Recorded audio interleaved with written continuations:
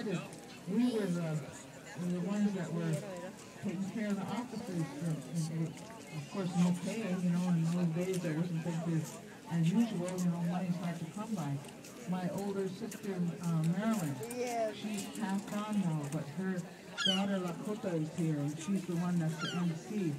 But uh, my whole family was involved, you know, with the, the movement in those days up until now, and I'm very proud of our, our young,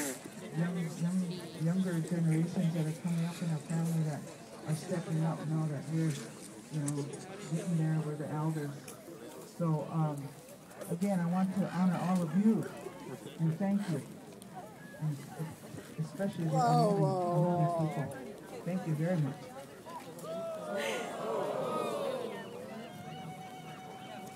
Okay, at this time, we'd like to just take a moment to also recognize relatives who passed away this year, who are on their journey to the spirit world. There was a man named Joseph Lee Morris, also known as Indian Joe. He used to play cat. We want to remember him and his family on this day. He made his transition on October 18th. We also want to remember Cheryl Fl- Flowers, Estamos aquí adentro. Gina Mota,